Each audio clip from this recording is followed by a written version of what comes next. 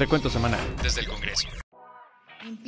Esta semana, en sesión ordinaria, los diputados promovieron un exhorto para que se asignen los recursos que garanticen la operación de las estancias infantiles en Tamaulipas, así como impulsaron otro para que se conozca con precisión las vedas de las diferentes especies en los cuerpos de agua en el estado y otro a fin de que los 43 ayuntamientos de Tamaulipas implementen campañas y mecanismos que reduzcan la contaminación auditiva que se pueda generar.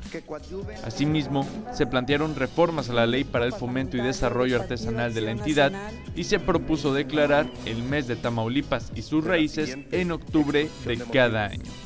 De igual manera, los legisladores aprobaron acciones que promueven el que se establezca la Casa del Estudiante Tamaulipeco en Monterrey y se dio lectura al dictamen ante el Pleno Legislativo sobre la conformación del Consejo Estatal Ciudadano.